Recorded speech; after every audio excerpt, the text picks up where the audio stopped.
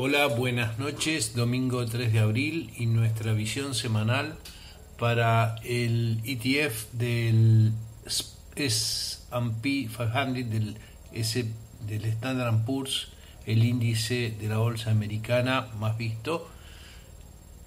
Eh, estamos en una visión que abarca desde el inicio del mercado alcista, cuando allá tocó, eh, bueno, esto sí, desde el, 2000, desde el 2008, cuando la bolsa tocó el 666 famoso, estamos hablando de aproximadamente septiembre del 2009. Desde ahí que el mercado es netamente alcista.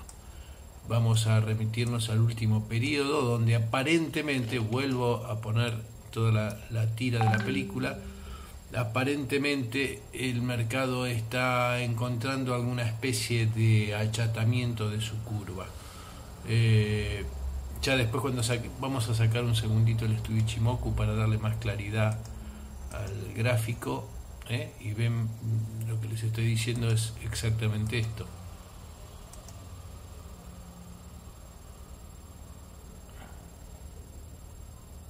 Estamos con una, dos, tres, cuatro violaciones a la línea de tendencia de larguísimo plazo y con un achatamiento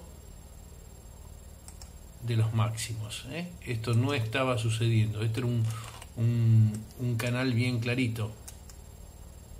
¿Mm? Ahí tenemos el canal y ahora vemos cómo se achata y lo viola. Vamos a volver a, nuestro gráfico eh, que contemple el Ichimoku.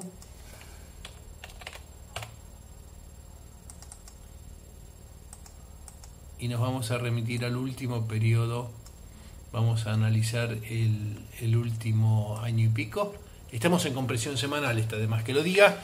Y vemos que el gráfico rompió la nube ascendente, esta nube verde, perforó la nube fuertemente en eh, una, dos, tres oportunidades, ¿eh? donde estoy marcando en estos momentos, el 31 de agosto del año pasado, la volvió a, volvió a superar y la volvió a perforar el 16 de abril, el, perdón, el el primero de abril de...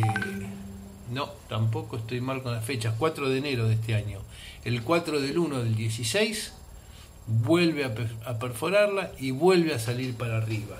La, vuelve a salir empujado hacia arriba al alza.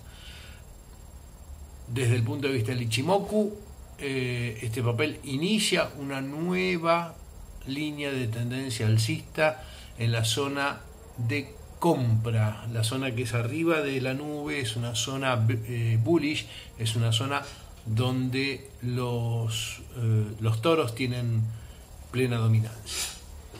Pero vamos a ver algunas otras eh, circunstancias que se nos vienen dibujando, se nos vienen planteando en este dibujo.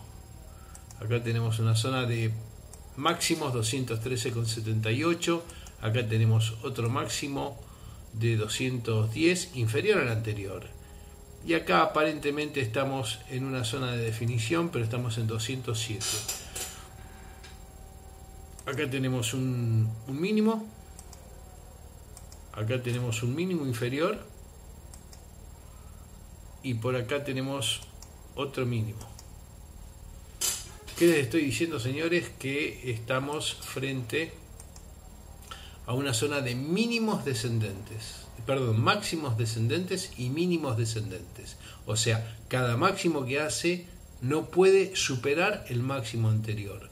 Esta es la clásica definición de lo que es un mercado bajista, un, mercado de, una lo que marca la, la tendencia. Cuando tenemos mínimos eh, descendentes y máximos descendentes, estamos en un mercado en un canal bajista.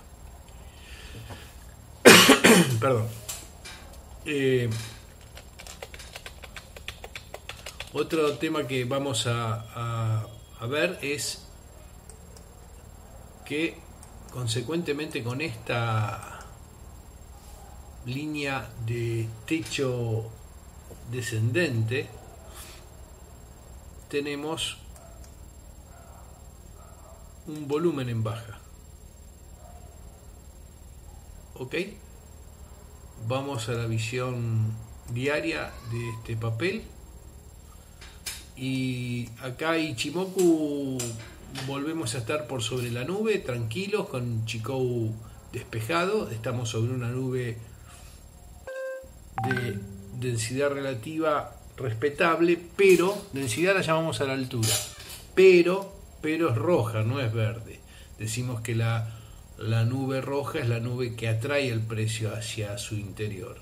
Pero en principio diría que no hay ninguna preocupación desde el Ichimoku que nos pueda alertar sobre alguna situación de cambio de, de, tendencia eh, confirmado.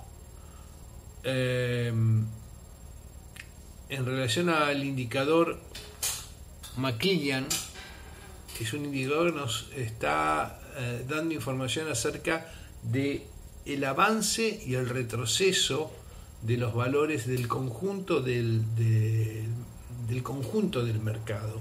Y nos está diciendo que los papeles están perdiendo. Cero es el punto donde se recomienda la venta está perdiendo vuelo o sea hay mayor cantidad o dejó de haber sería más específica la explicación dejó de haber avance de precios y empezó a haber retracción de precios. O sea que el mercado se está achicando en cuanto a precios, se está achicando en cuanto a volumen también. Entonces son dos señales, no dos señales que hay que atender con mucha atención. Baja de los máximos, baja de los mínimos, baja del volumen y baja del indicador McKillian. Eh, si